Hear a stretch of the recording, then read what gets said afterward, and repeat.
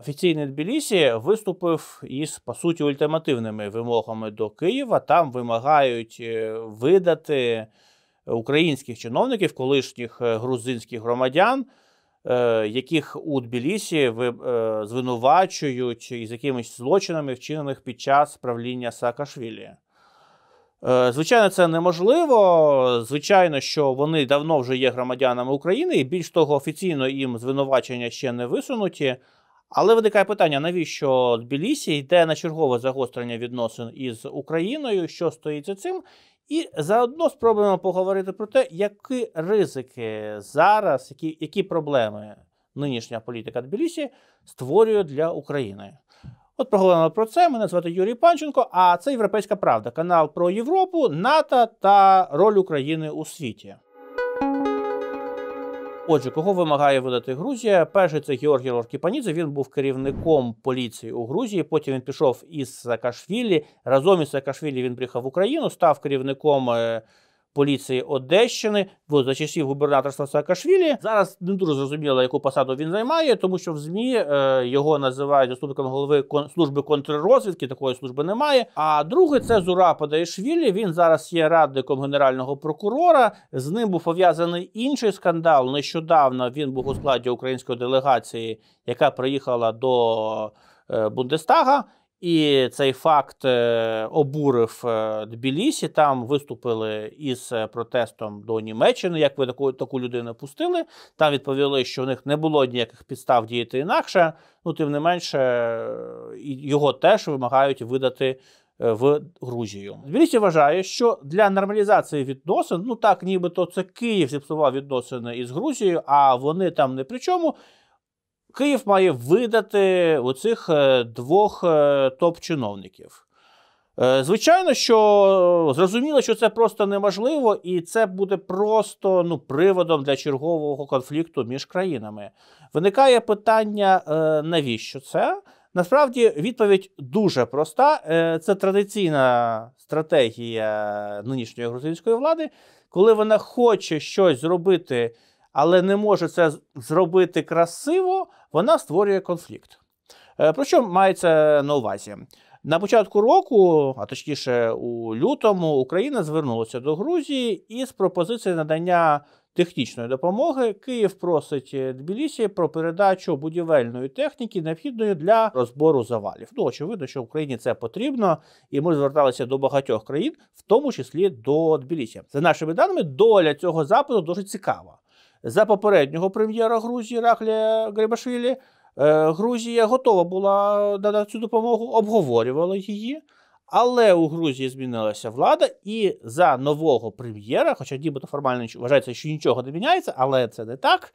Е, Здається, що у Тбілісі готов, вже не готові це робити, але не можуть про це заявити публічно.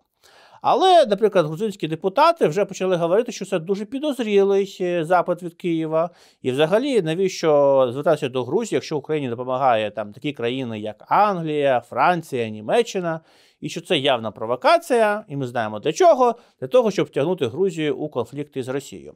Очевидно, що Ситуація змінилася, є якісь сигнали для Грузії, що це буде негативно сприйнято з Росією, а з Росією Грузії не хочеться сваритися.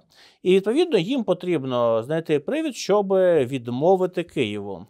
І дуже схоже на те, що оцей конфлікт навколо українських, колишніх грузинських урядовців був створений саме для того, щоб потім сказати стати в позу і сказати: ну, от бачите, якщо ви так до нас відноситесь, то навіщо ми маємо вас допомагати? Щось подібне в україно-грузинських відносинах було е, трохи більше ніж рік тому. Попередня зима, коли були масштабні удари Росії по українській енергоінфраструктурі, тоді Україна зверталася до всіх країн з, проханням про допомогу е, з генераторами і так далі. Така така заявка була подана і до Грузії.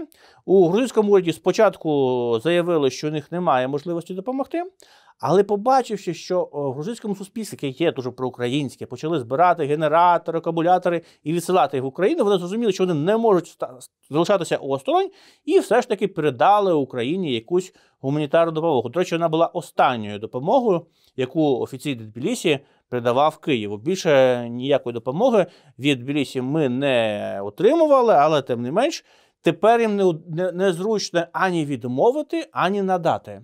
І е, очевидно, що цей скандал був створений саме для цього щоб мати причини красиво відмовити, скинувши провину саме на Київ. Але за цією проблемою стоїть інша, більш глибока. Ми бачимо, особливо останній рік, е, досить різке і відверте зближення Тбілісі із Росією.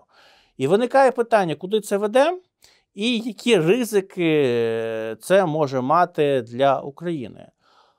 Коли говорять про російське якесь зближення, е, грузинсько-російське зближення, зазвичай мають на увазі, що Росія використовує Грузію ну, як чергову квартирку для обходження санкцій, е, квартирку для якогось сірого чи чорного імпорту і так далі.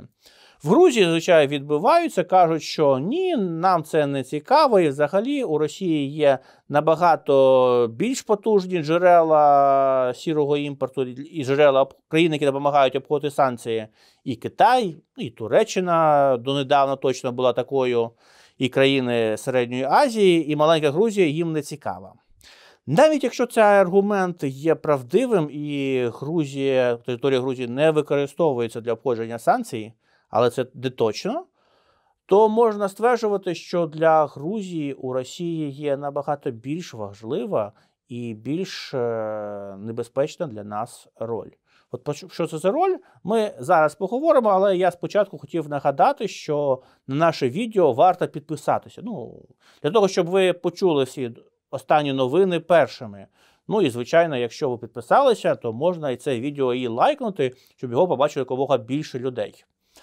А тепер, коли ви вже лайкнули, поговоримо далі. Перш за все, я хотів нагадати інтерв'ю, яке Путін дав е, американському пропагандисту Карлсону. Там було багато тест, які ми звернули увагу.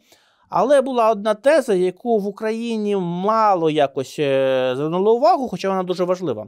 Там Путін серед іншого каже, що от ви знаєте, у мене є певність, що Україна і Росія рано чи пізно знову якось помиряться і знову будуть дружити. Ну, В Україні це пропустили мимо вух, тому що ну, відверта абсурдність цієї тези очевидна для нас але вона не очевидна для багатьох американців, а в першу чергу для експрезидента Дональда Трампа, який може стати новим президентом США. Ви спитаєте, по чому тут Грузія? Дуже просто. Грузія є прикладом країни, яка ще ну зовсім недавно мала військовий конфлікт з Росією, е, частина території якої є окупована Росією. Для якої Росія створює і зараз постійні проблеми, приносячи кордон або Е, беручи в заручники грузинських громадян, так роблять російські прикордонники на окупованих територіях. І от е, це з цією країною зараз е, грузинська влада демонструє покращення відносин, можливість співіснування, торгівлі. Е, минулого року я нагадаю, що Грузія відновила авіасполучення із Росією. Тепер до Тбілісі літають російські авіакомпанії, які до того літали в окупований Крим. Е, Тбілісі це не турбує. І просто в Росії зараз е, подають Грузію як приклад покращення відносин, як приклад позитивних сусідських відносин, яких там у Росії не так та й багато. Таким чином, е, це створює таку ілюзію для західного американського споживача, що ну, український конфлікт, е, да, він зараз виглядає нібито таким небезпечним, але насправді це традиційні сусідські суперечки. Ось подивіться на Грузію, воювали, мали проблеми, а тепер відносини знову покращуються.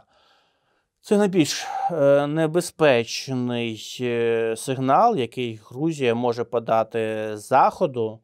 І звичайно, що кожен новий конфлікт е, між Україною та Грузією, особливо який ініційований Тбілісі, показує, що е, ця роль, яку е, Грузії віддає російська пропаганда, грузинську владу влаштовує. Вона готова показувати, що вона примирилася з Росією, що конфлікт е, в минулому, що вона має надію, що там е, ця нова дружба, так би мовити, приведе до відновлення територіальної цілісності. Це, до речі, чомусь почали вірити багато грузинів. Хоча абсурдність цього сподівання ну, вона просто очевидна. І це вкрай небезпечний е, сигнал, який може нашкодити Україні. Тому будемо дивитися далі. Я нагадаю, що цієї восени в Грузії відбудуться спочатку парламентські вибори, а потім депутати парламенту будуть обирати президента. Е, очевидно, що в Грузії буде дуже гаряче. Е, ми будемо дивитися на це, і, до речі, не виключено, що Грузія піде на дуже цікаві моменти. Є підстави вважати, що для того, щоб Захід прийшов на визнання цих виборів, там можуть навіть відпустити Саакашвілі. Але тим не менше, схоже, що нинішня влада Грузії обрала саме цей шлях. Вигідний для Росії і дуже невигідний для України. Ну а ми, Європейська Правда, будемо аналізувати події, в тому числі в Грузії, розповідати їх е, вам, щоб вам було зрозуміло, що стоїть за гучними скандалами і гучними заявами наших сусідів. Будьте з нами.